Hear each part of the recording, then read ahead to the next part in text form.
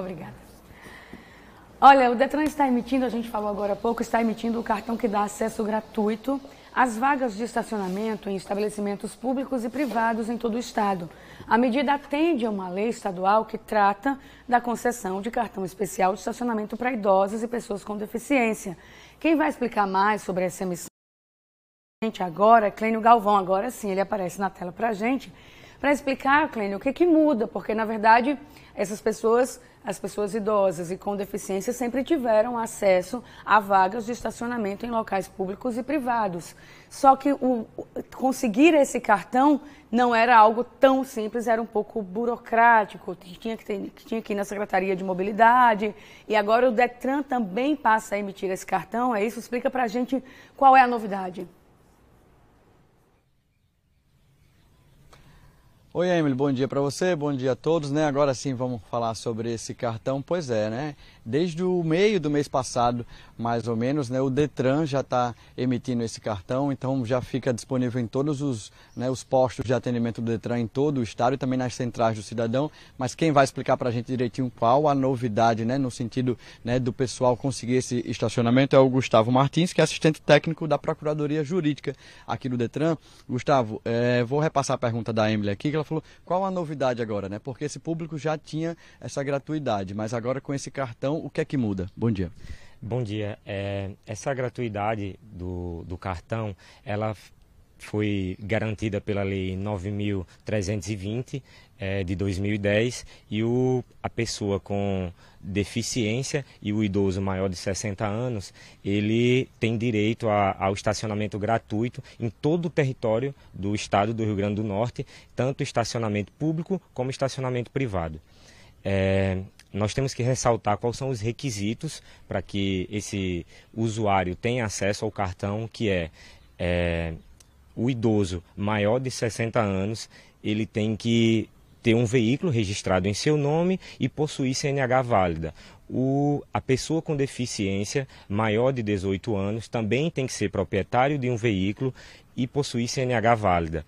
É, o, o deficiente menor de idade, ele tem que ter um veículo, ele tem que possuir um veículo em seu nome, ou seja, ser proprietário de um veículo, e o seu representante legal precisa ter uma CNH válida. Esses são. Mas aí, no caso, o menor de idade vai ter um, um, um, um, carro, no caso, um veículo registrado no nome dele? É, esse, esses são os requisitos que a lei exige. Então, é, nós estamos dando cumprimento à lei de acordo com o que está determinado. Mas aí uma curiosidade minha agora, um menor de idade, se eu tenho menos de 18 anos, eu consigo registrar um carro no meu nome? Consegue. E, e, então, a partir de quando já está valendo isso, né? E como é que faz, onde as pessoas né, podem, podem ir para pedir esse benefício? O procedimento para requerer a, a, o cartão de, de gratuidade é bem simples. O usuário vai no site do Detran RN, lá na aba serviços e depois downloads, ele vai é, baixar um requerimento que já tem lá o modelo.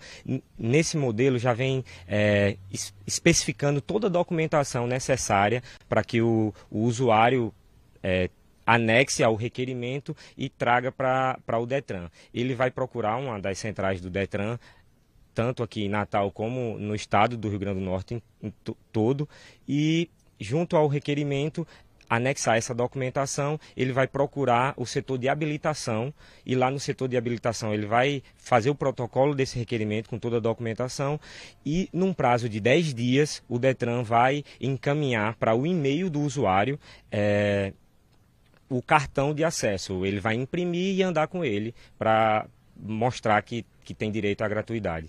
Então, só para a gente não ficar com dúvida aqui, porque antes já existiam as vagas, já existiam as vagas destinadas, né, para idosos e pessoas com deficiência num shopping, por exemplo.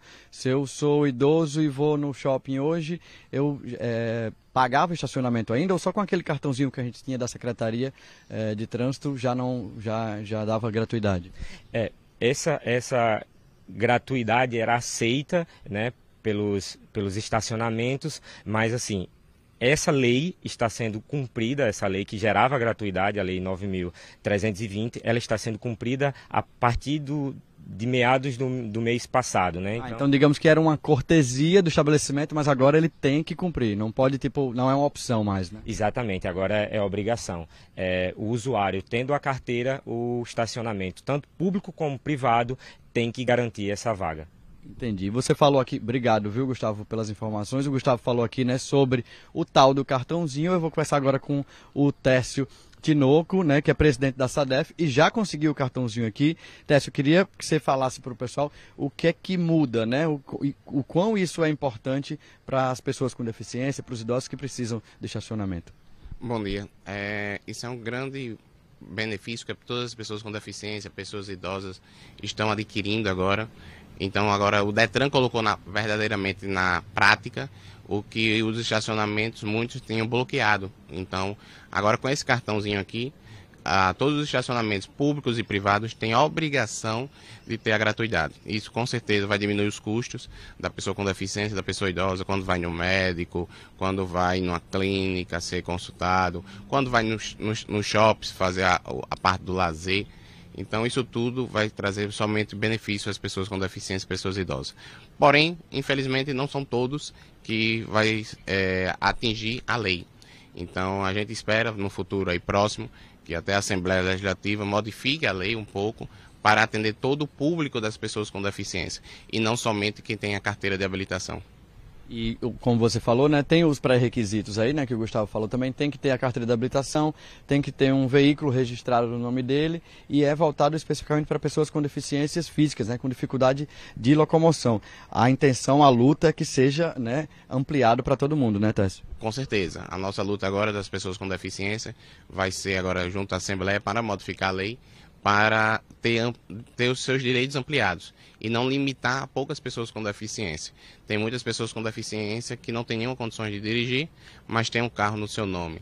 Tem pessoas com deficiência que não tem nenhum nome no veículo, mas anda de carona com o irmão, com o pai, com a mãe, quem for que seja. Então, o direito tem que ser um direito adquirido das pessoas com deficiência.